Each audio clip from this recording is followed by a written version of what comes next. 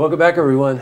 Well, just this week in downtown Glens Falls, a new business came into town. Actually, it's not a new business to Glens Falls, but a new one downtown, which is always a great thing to see in downtown Glens Falls.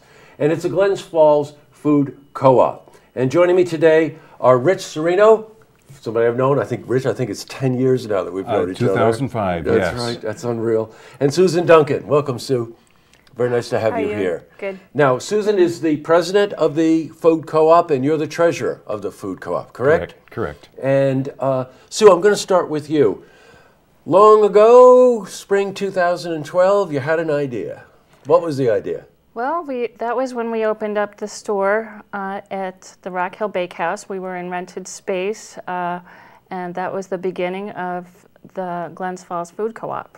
And what what made you want to start the co-op? Well, it was really a, a large group of us together that had been planning for several months um, that we really wanted to have uh, healthier food options in our neighborhood. And uh, we got together and made our plan to open the store, and, and, uh, And here we lo are. and today. behold, you did. Yeah. Uh, you know, starting a food co-op is not an easy thing. A lot of people to coordinate, uh, make certain that you've got everything from transportation to uh, agreements with all of the local farmers and produce uh, uh, people, and also, you know, setting up the co-op itself, and then getting the memberships together and all that other stuff. I know because my wife and I were involved in a co-op many years ago. So, Rich, you've been involved since the beginning, also. That's pretty correct. much driven by the same thing. Yes. Um, uh, I helped the group because having had a couple of small businesses in the past, um, I was familiar with all the small moving parts that Yeah. are part of uh, forming any organization and then opening a retail location.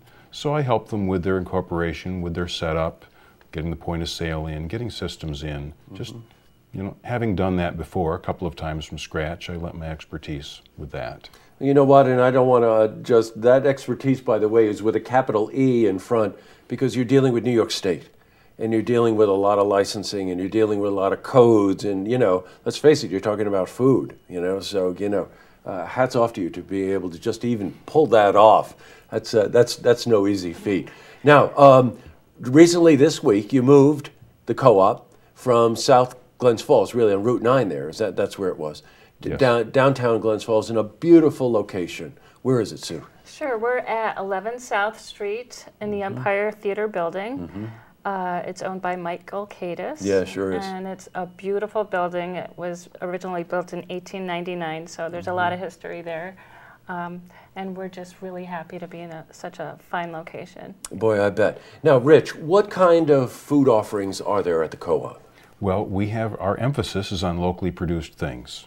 So we have produce that's seasonal produce. So right now there's lots of root vegetables, and and there's a, there are apples, and there's cider, and there's meat, there's chicken, there are eggs, there's dairy, and uh, much of it comes from Washington County and Essex County.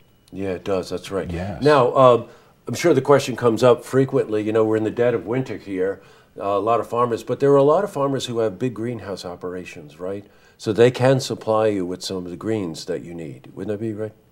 Yes, um, right now we were, we're working with Fresh Take Farm, and they, they do a lot of the markets. Um, we're one of their first stores that they're working with, and uh, so um, we'll be getting a good supply of greens good of probably in the next right. month or so. Now, you also uh, are locally sourced uh, eggs, cheeses, yogurt. You said. Yes, You know that that's all that is very healthy eating, right? yes. Uh, but you want to know something? You hear it, the, the horror stories about meat and chicken hit the news, national news, just this past week again. Uh, that's locally sourced. All the meats are, aren't they, from the beef farmers? Yes. And uh, what's the criteria there for that? The criteria? Yeah, The cri- meaning in terms of uh, what standard does it have to hit for you? Well, We like to we like the grass-fed or pasture-fed um, Mm. animal raised, um, also animal welfare approved, um, where our farmers are treating the animals in a Humanely, yes, right? Yeah, yeah. sure. I got, got it. uh, a non-GMO food for the animals. So we know that we're not eating genetically modified food that is given to the animals. Boy, that's right. Boy, and it hits the news all the time.